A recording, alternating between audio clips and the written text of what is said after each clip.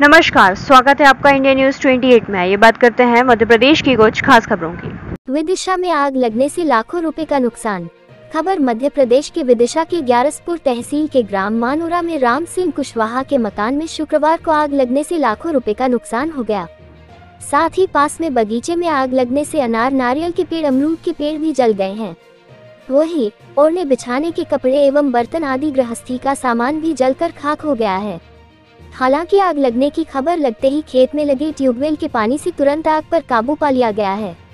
जैसे ही खबर ग्राम के पटवारी को लगी तो तुरंत कोटवार एवं ग्राम के सहयोगियों के साथ पहुँचे और आग पर काबू पा लिया गया।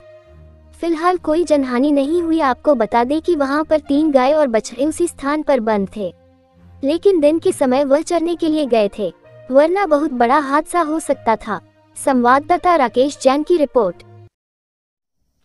ये राम सिंह कुशवाहा जी हैं, ग्राम मानोरा और तहसील ग्यारसपुर के रहने वाले हैं, और इनके मकान में जो है ना, पड़ोस में जो खेत था, उसकी नरवाई में आग लगी थी, और उस नरवाई की वजह से ये काफ़ी नुकसान हुआ है। आप देख सकते हैं यहाँ पर भारी नुकसान हुआ है।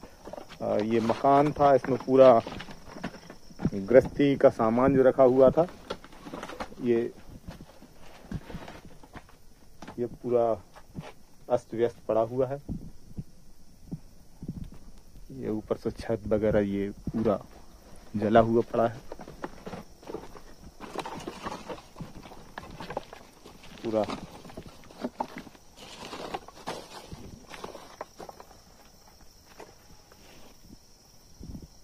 काफ़ी लोग इनकी मदद के लिए भी आए थे।